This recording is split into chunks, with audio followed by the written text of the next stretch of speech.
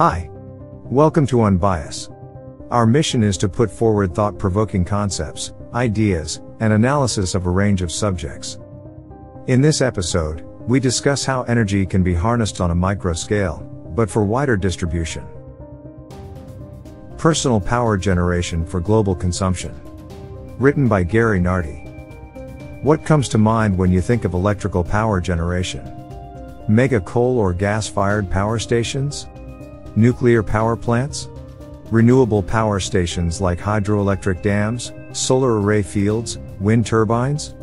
Or indeed, large solar thermal plants? Of course, all the above mentioned options have their pros and cons depending on a range of factors. For example, to cover national demand from industry and the general population, you need more energy dense options like hydroelectric, or a series of coal fired plants. Other considerations include cost of construction, ongoing maintenance, and ultimately, the cost per watt hour for that energy source. Research has suggested that theoretically, if the Sahara Desert were covered with solar panels, enough electricity could be generated to meet the entire global electricity demand.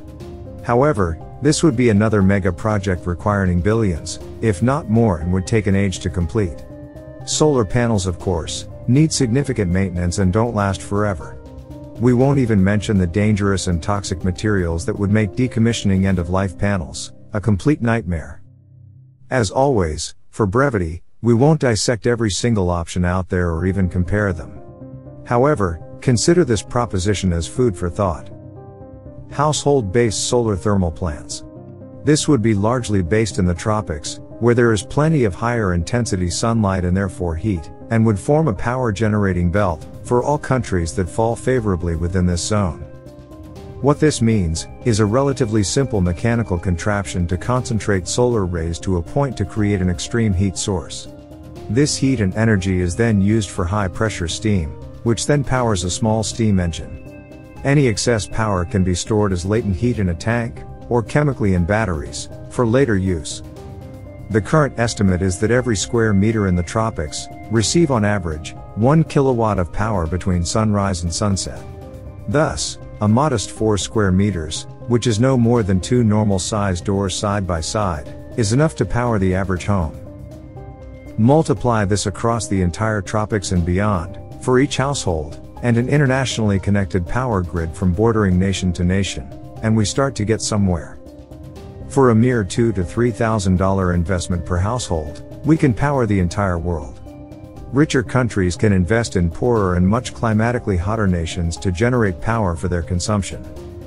Power generation would literally revolve with the planet, as countries in daylight generate power for those experiencing night conditions on the other side of the globe. Advantages of such a system 1. It requires global decorum and may lessen the chance of developed nations being aggressive toward less developed nations. 2. All the energy being used to dig up fossil fuels, rare metals to create solar panels, batteries, etc., would reduce considerably. 3. Potentially, a better, cleaner environment for people and life in general. 4. All the time, cost and effort each nation puts into being energy independent could be put to solving other problems. 5.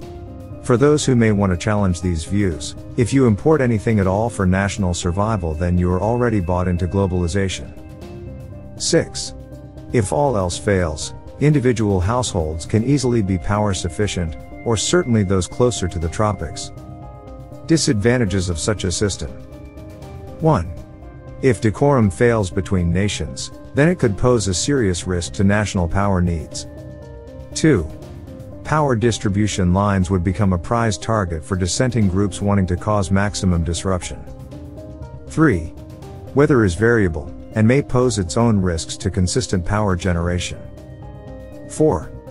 The impact of natural disasters may be felt far afield from the localized area should it affect power generation and distribution. Perhaps it's time to consider overhauling how we generate and distribute power between our nations. What do you think? Let's have a debate. Share your feedback on our social media handles, at Other Unbias, YouTube, and thank you for engaging with Unbias.